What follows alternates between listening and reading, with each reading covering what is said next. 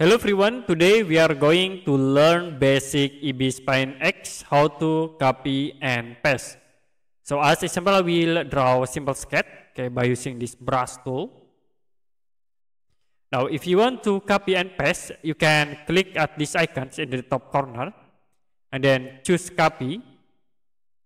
It will be moved to clipboard for the copy and then you can paste again, click the icon, click paste icon. The next you can drag the left mouse to move the object. I will move into here.